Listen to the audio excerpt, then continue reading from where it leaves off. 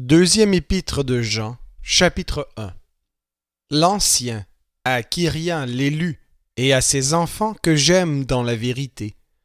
Et non pas moi seulement, mais aussi tous ceux qui ont connu la vérité, à cause de la vérité qui demeure en nous, et qui sera avec nous pour l'éternité. La grâce, la miséricorde et la paix seront avec nous, de la part de Dieu le Père, et de la part de Jésus-Christ, le Fils du Père, dans la vérité et l'amour. Je me suis beaucoup réjoui de trouver de tes enfants qui marchent dans la vérité selon le commandement que nous avons reçu du Père.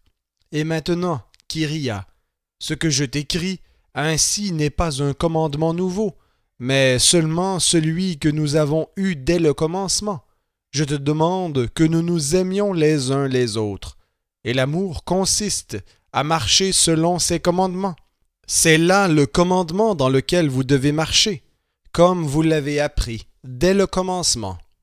Car dans le monde sont entrés plusieurs séducteurs qui ne confessent pas Jésus-Christ venu dans la chair.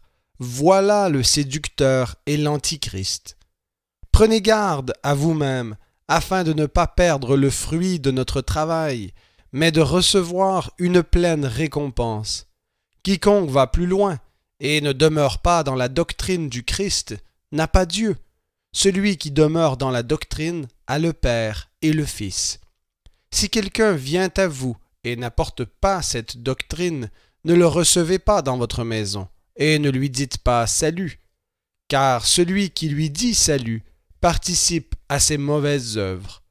Quoique j'ai beaucoup à vous écrire, je n'ai pas voulu le faire avec le papier et l'encre, mais j'espère aller chez vous et vous parler de vive voix, afin que notre joie soit complète. Les enfants de ta sœur l'élu te saluent.